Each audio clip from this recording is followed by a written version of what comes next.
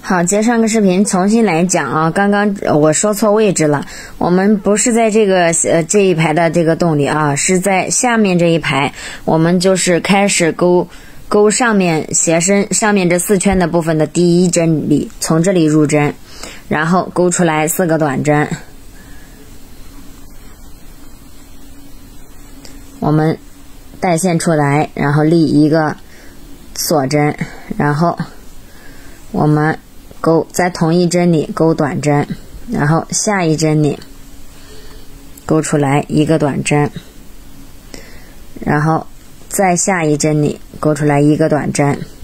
我们就在最上面最上面这个针目里也给它勾出来一个短针，这样勾好之后它就平了。刚刚说错位置了，然后我们立一个锁针，我们把它转过来。把这个小鞋子给它转过来，转过来之后呢，我们在同同一针的位置勾一个短针，下一针里勾一个短针，然后再下一针里一个短针，好，到最后一针里勾出来一个短针，然后呢，我们就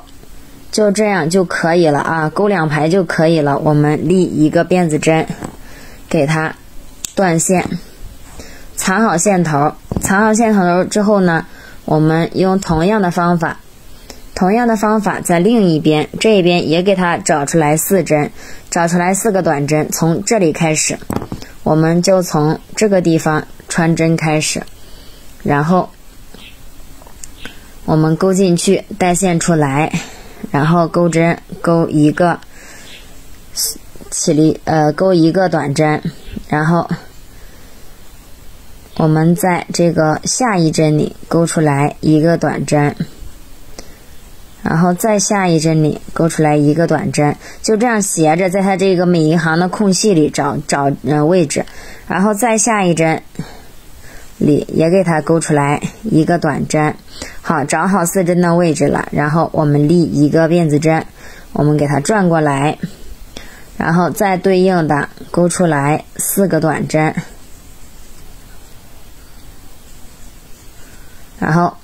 立一个锁针，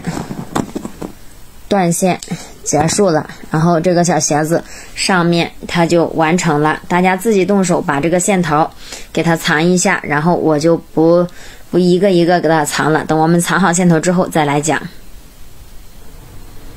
好，现在呢，我已经把这些线头都给它藏好了。藏好之后呢，我们要开始来勾这个小鞋子的花边儿。勾完花边之后，我们这个鞋子的主体就完成了。嗯，现在呢，我们把这个小鞋子给它放，鞋口对着我们啊，鞋口这样朝下吧。鞋口这样朝下，我们找到后面鞋后跟的位置。找到鞋后跟这个引拔针这边的位置，然后呢，我们拿出拿出这个咖啡色的线，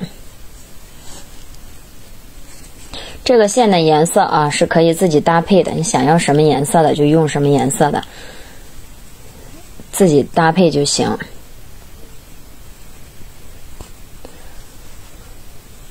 线头中间给